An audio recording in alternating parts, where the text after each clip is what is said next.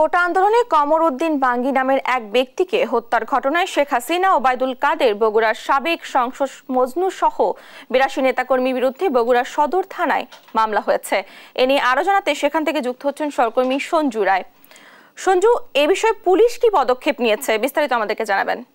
ডানা কোটা সংস্কার আন্দোলনে গত চারই আগস্ট বগুড়া শহরের নবাববাড়ি সড়কের ডায়াবেটিস হাসপাতালের সামনে একজন দরিদ্র রিক্সা চালক কমরুদ্দিন বাঙ্গি নিহতের ঘটনায় কিন্তু আজকে তার স্ত্রী তহমিনা বেগম বাদী হয়ে বগুড়া সদর থানায় একটি হত্যা মামলা দায়ের করেছেন, যেখানে বাংলাদেশ আওয়ামী লীগের সভাপতি শেখ হাসিনা, সাধারণ সম্পাদক ওবায়দুল কাদের সহ আসামি করা হয়েছে। বিরাশি জন নেতাকর্মীকে যেখানে মামলায় উল্লেখযোগ্য আসামিরা হলেন বগুড়া সদরের সাবেক সংসদ সদস্য এবং জেলা আওয়ামী লীগের সাধারণ সম্পাদক রাগিবুল হাসান রিপু, জেলা আওয়ামী লীগের সভাপতি ও শেরপুরের সাবেক সংসদ সদস্য মুজিবুর রহমান, মজনু, জেলা আওয়ামী লীগের সহসভাপতি টি জামান নিকেতা, যুগ্ম সাধারণ সম্পাদক মঞ্জুর আলম মোহন আরও রয়েছে আসাদুর রহমান, দুলু, জেলা যুবলীগের সভাপতি, সাধারণ সম্পাদক সহ বগুড়ার বিভিন্ন উপজেলার চেয়ারম্যান, জনপ্রতিনিধি এবং আওয়ামী লীগের বিভিন্ন অঙ্গ সংগঠনের নেতৃবৃন্দকে এবং এই মামলায় অজ্ঞাতনামা আসামি করা হয়েছে। আরও দুইশো থেকে তিনশো জনকে আমার একটু আগে কথা হয়েছে, এই মামলার বাদী তহমনা বেগমের আইনজীবী অ্যাডভোকেট আব্দুল বাসেদের সাথে। তিনি যেটি জানিয়েছেন যে শুধুমাত্র রংপুরের আবু সাইদি নয়, এই যে নিহত হয়েছেন কমরুদ্দিন বাঙ্গি, যিনি আকাশতারা নিবাসী একজন দরিদ্র রিক্সা চালক, গত চার আগস্ট যখন ছাত্র জনতার ওপরে যখন নির্মমভাবে হামলা করা হয়, সেই সময় এই রিক্সা চালক বাঙ্গি কিন্তু ছাত্র জনতাকে বাঁচানোর জন্য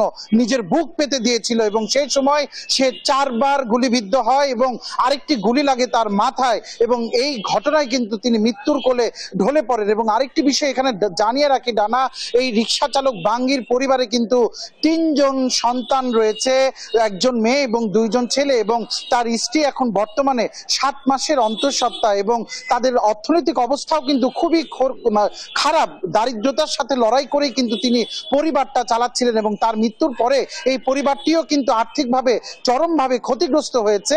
এখন পর্যন্ত অ্যাডভোকেট আব্দুল বাসে যিনি জেলা বিএনপির সহসভাপতিও, তিনি যেটি আমাদের, আমাকে জানিয়েছেন একটু আগে যে বগুড়াতে এখন পর্যন্ত চারটি হত্যা মামলা হয়েছে, যেখানে বগুড়া সদর থানায় হত্যা মামলা হয়েছে দুইটি এবং এই দুইটিতেই কিন্তু হুকুমের আসামি করা হয়েছে শেখ হাসিনা এবং ওবায়দুল কাদেরকে। এর পাশাপাশিও শিবগঞ্জ এবং সোনাতলাতেও আরও পৃথক দুইটি হত্যা মামলা দায়ের হয়েছে এবং জেলা বিএনপি কার্যালয়, শহর বিএনপি কার্যালয় এবং শহর শ্রমিক দল অফিস ভাঙচুরের ঘটনায় আরও পৃথক তিনটি মামলা হয়েছে। সর্বমোট এখন পর্যন্ত কোটা সংস্কার আন্দোলনের এবং পাঁচ আগস্টের পরে মোট আটটি মামলা হয়েছে এবং জেলা বিএনপির নেতা আব্দুল বাসের যেটি জানিয়েছে, তাদের কাছে তথ্য অনুযায়ী কোটা সংস্কার আন্দোলনকে ঘিরে বগুড়ায় প্রায় তেরোটি হত্যাকাণ্ডের ঘটনা ঘটে এবং এই তেরোটি কিন্তু মামলা তারা পর্যায়ক্রমে তাদের পরিবার করবে মর্মে তিনি জানিয়েছেন।